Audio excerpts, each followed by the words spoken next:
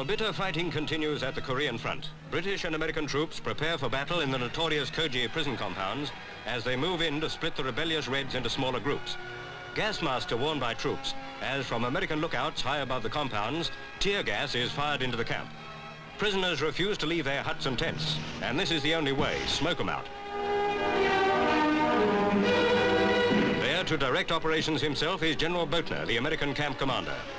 Prisoners who are held back by their fanatical communist leaders are finally forced from their hiding as Americans move in to close quarters with flamethrowers, burning a path through the compound.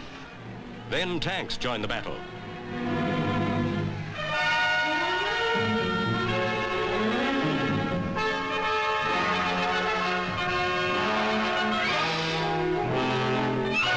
Under the command of their officers, Red POWs use knives, spears, and prison-made Molotov cocktails to resist their guards. Many who refuse to fight are killed by fellow prisoners. But following a well-laid plan, British and American troops move right into the center of the compounds to seize the rebels and begin the great sort-out of ringleaders.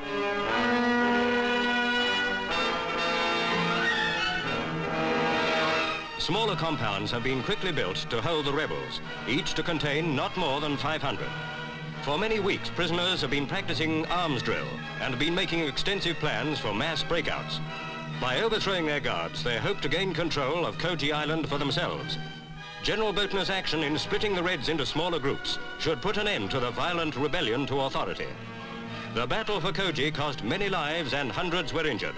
Now over the compounds there hangs an uneasy peace.